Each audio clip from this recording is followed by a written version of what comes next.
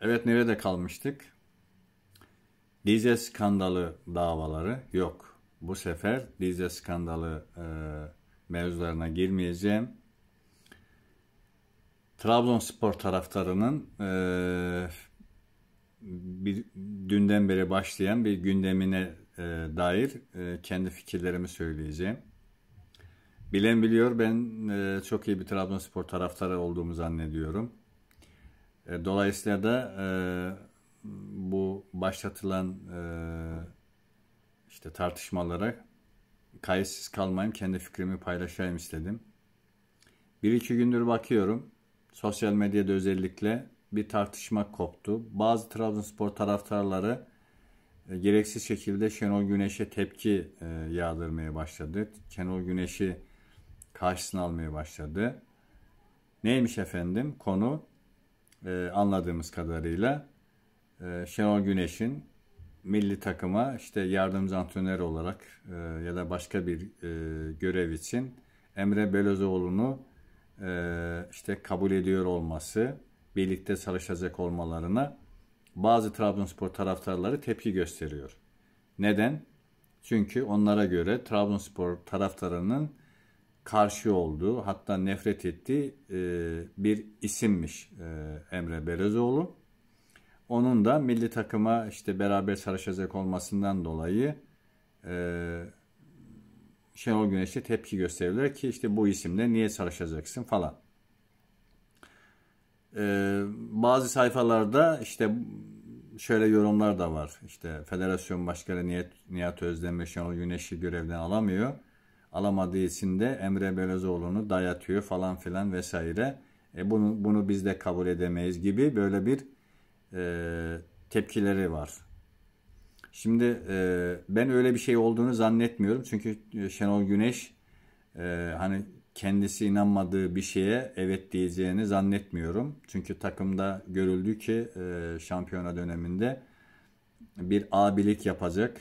Takımı hani genel bir hoca e, e, teknik e, e, verilerinin söyleminin dışında bir de böyle takımı abilik yapacak işte hadi koçum diyecek birisinin olmayışını e, e, gördü Şenol Hoca. Bunu biz de bir taraftar olarak gözlemliyoruz. Dolayısıyla böyle bir eksiği kapatmak için e, Emre Belezoğlu'ndan çalışabileceğini anlıyoruz biz e, buradan. Nitekim de hani e,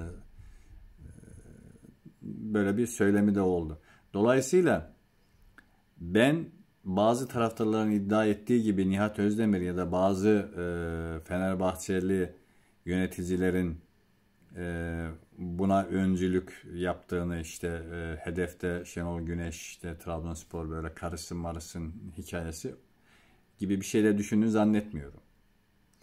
Velem ki öyle bir düşünce olsun. O zaman bu bazı Trabzonspor taraftarlarının başlattığı bu Şenol Güneş karşıtlığıyla esasen onların işine gelen, onların e, isteyeceği bir şey e, yapıyor e, durumuna düştüler. Benim benim gördüğüm o.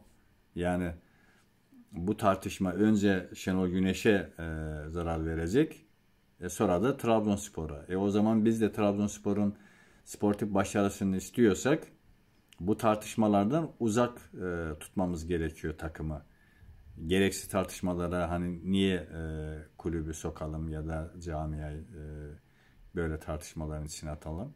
Dolayısıyla ben e, neresinden bakılırsa bakılsın e, bir Emre Belezoğlu'nun milli takıma yardımcı göreve ya da başka bir e, göreve getiriliyor diye e, Trabzonspor'un efsane ismi olan Stat'ın ismi de verilen bir e, spor adamına Şenol Güneş'e bu e, karşıtlığın yanlış olduğunu düşünüyorum ki bazıları diyor ki satın ismi değilsin Avnaker falan olsun.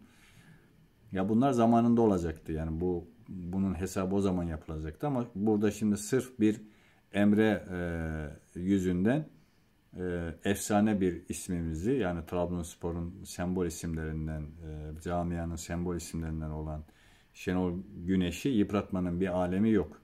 Bu yapıldığı zaman Trabzonspor karşıtı olan çevreleri bence daha da çok sevindirir. Yani onların işine gelir. O zaman bunu yapmayalım. Yani e, varsa bazıların buna dair tepkisi bunu da hani e, başka yollardan daha böyle e, e, oluruna makul şekilde e, hani dile getirmekle ya da görüşmelerle bu sağlanmalı. Bir kampanyaya dönüştürülüp böyle bir ortalığı karıştırmanın bir alemi yok diye düşünüyorum. Bu benim kendi kanaatim. Ben de o renklere gönül vermiş e, küçüklüğümden beri taraftarı olduğum e, camiadan söz ediyorum. Gerek yok diye düşünüyorum. Hepinize saygılar sunuyorum. Selamlar.